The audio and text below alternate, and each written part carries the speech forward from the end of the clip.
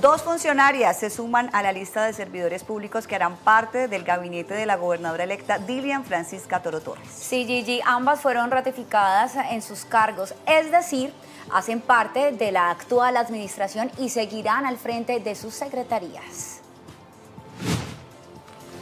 Al equipo de gobierno de la mandataria electa para el Valle del Cauca, Dilian Francisca Toro, se suma Karen Rada Ramírez, quien continuará desempeñándose como secretaria de Desarrollo Social y Participación. Ramírez es fisioterapeuta de profesión, cuenta con una especialización en gestión pública y un magíster en gobierno, políticas públicas y desarrollo territorial. En lo relacionado a su experiencia, se ha desempeñado como consultora en planificación territorial y diseño de intervenciones socioeconómicas en múltiples sectores del desarrollo.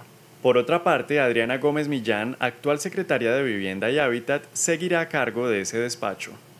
Gómez es ingeniera civil, especialista en administración de empresas y magíster en hábitat sostenible.